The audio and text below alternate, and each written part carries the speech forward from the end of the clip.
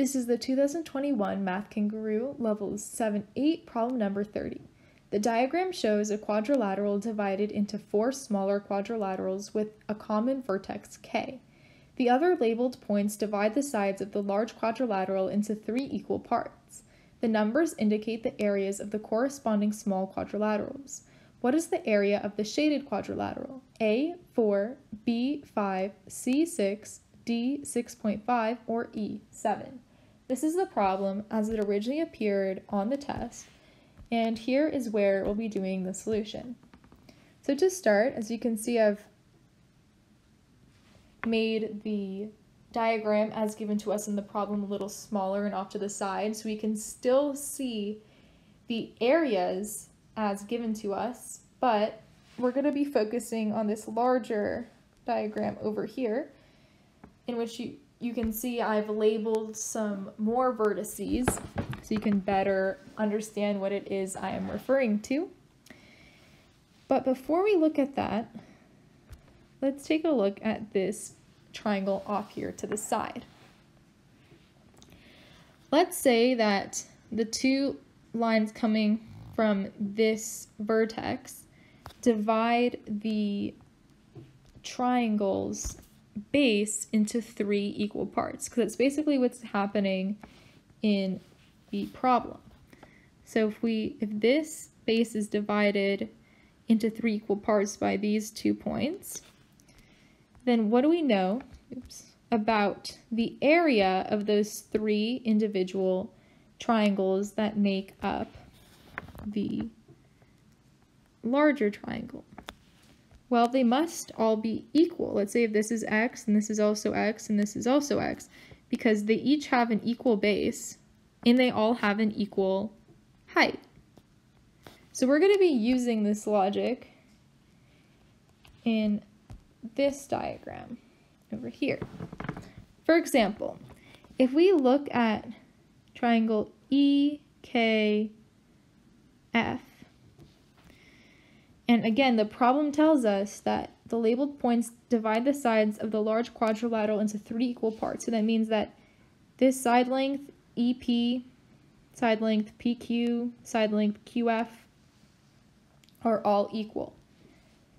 And they all, these individual three little triangles have the same height, and they must all have the same area. So, for example, if triangle EKP has an area of A, then triangle PKQ also has an area of A, and triangle QKF also has an area of A. So we're going to continue on with this logic throughout the rest of the triangle. So then over here, we can label the three individual triangles as having area B. Here they all have area C. And here they all have area D. And with this information, we can set up a few equations given the information from this diagram over here. For example, we have that 2a plus 2b is equal to 10. We know this from this quadrilateral right here, which is equivalent to this part. We also know that 2c plus 2d is 18, and that's this quadrilateral over here.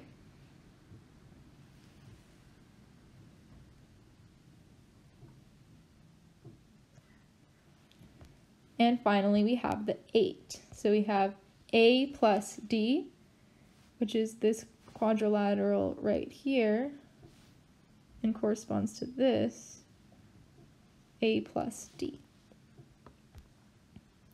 Now the next step is to basically combine the first two equations together, this and this, and then we can factor out a 2 to get 2 times the quantity of A plus B plus C plus D is equal to 28, which is 10 plus 18. And now we know that, we already know that A plus D is equal to 8. So if we divide by 2 on both sides, we get that a plus b plus c plus d is equal to 14. And then again, oops,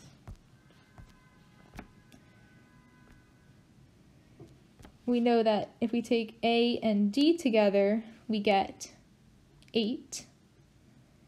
And what we're really looking for is this area right here. The shaded area is b plus c. So if we remove what a plus d is, then we're left with b plus c. So 14 minus a plus d, which is 8, will give us 6. 14 minus 8 is equal to 6. And that is answer choice C. Thank you so much for watching, and please subscribe if you would like to see more videos.